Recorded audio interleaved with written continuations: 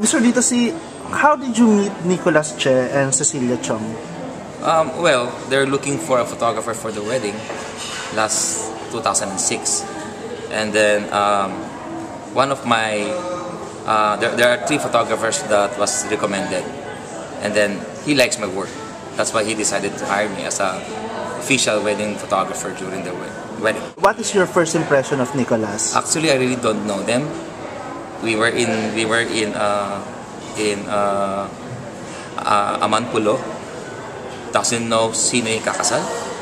We were just hired na uh, it's going to be it's our job to document the wedding. Okay? And that's it. Do you have permission to take those photos in the first place? 100% permission and authority from Nicholas himself that I can post the pictures on my website or net. Sir, ano yung exact words niya to you? Well, here's, tumawag sila sa akin, ordering after 5 years. Okay?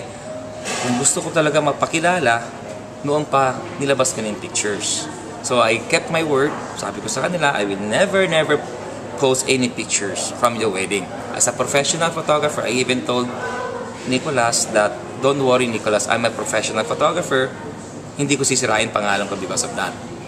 And then, two weeks ago, tumawag sila, they want some copies because he lost the pictures that I gave them.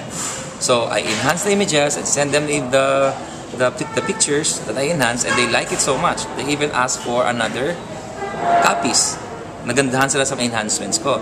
So I took the, the chance. Sabi ko, I was talking to the secretary of Nicholas, which is Odette. And then I asked Odette, Odette, since everybody knows that they are married, they have two kids, they're, they're, they're together happily.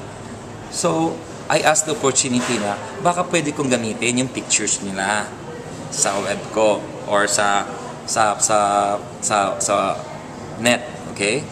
Sabi nila, tinanong niya, Sir, can you, can Lito, can Lito, kara pwede bang gamitin yung pictures natin na tinadevelop niya? Sabi niya, yes, as long as wag lang yung masyadong mga alam mo yun, medyo, uh, medyo erotic na shots. You know? Simple lang, yung naglalakad sila, yung mga ganun. Sabi ko, yes, you can, sabi niya. So, tuwan-tuwa ako. Kasi after five years, ngayon ko lang mapapakita kung ano yung ginawa kong picture sa couple. And they were so happy about that. So what you're saying is they are sexier shots than the ones posted online. Sexy, I mean, medyo, kasi they just got married recently lang, di ba? Yung shoot namin, medyo sexy, nahalikan niya sa leeg, ganun lang, nakahiga sila sa sa beach, ganun lang. Pero hindi, hindi ko na nilabas yun kasi limang picture, anim na pictures lang natin nilabas ko. Okay. So I was so, I mean, uh, sad and devastated. I mean, I have all the permission and authority to post it coming from Nicolas.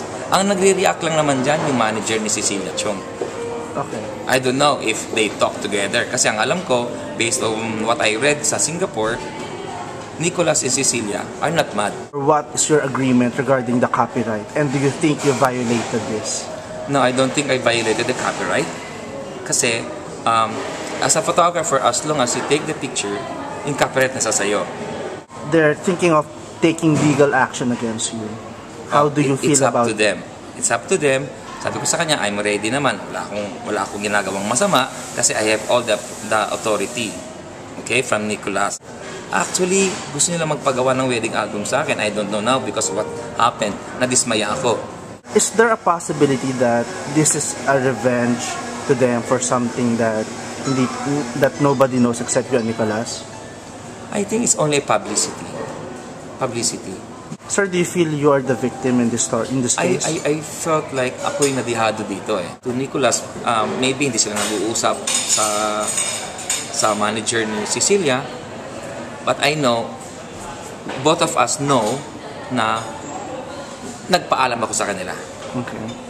Do you have any grudge against Nicolas or Cecilia? No, no, I, I don't have any any um, bad feeling about Nicholas and Cecilia. It's all it's all about know, I, I like them so much. They were so cooperative during their wedding and we were even good friends after the wedding.